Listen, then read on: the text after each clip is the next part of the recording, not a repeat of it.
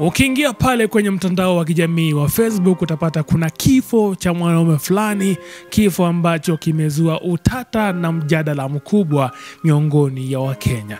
Hiki ni kifo cha mwanaume anayejulikana kama Ochieng Jaka Black aliaga dunia Jumamosi kwa kupata ajali ya barabarani.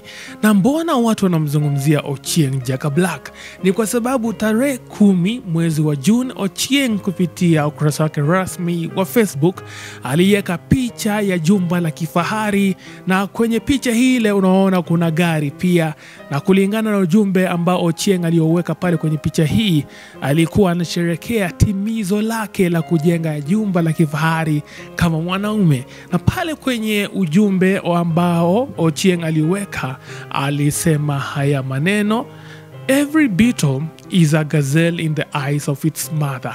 Hivyo ndivyo Ochieng alivyosema, lakini pindi tu Ochieng kuweka ile picha akaweza kuaga dunia siku kadhaa baadaye.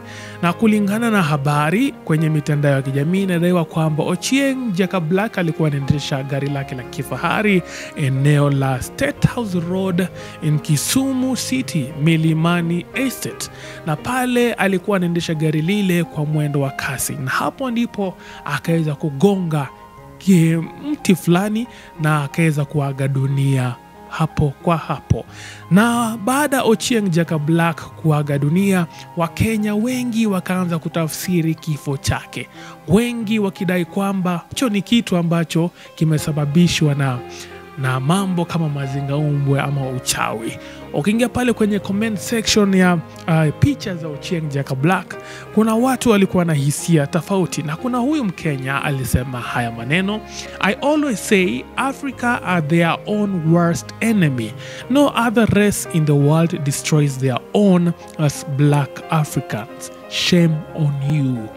We, huyo anaamini kwamba Ochieng Jaka Black amerogwa tu ndio asienjoi maisha yake kama mwanaume, unaelewa.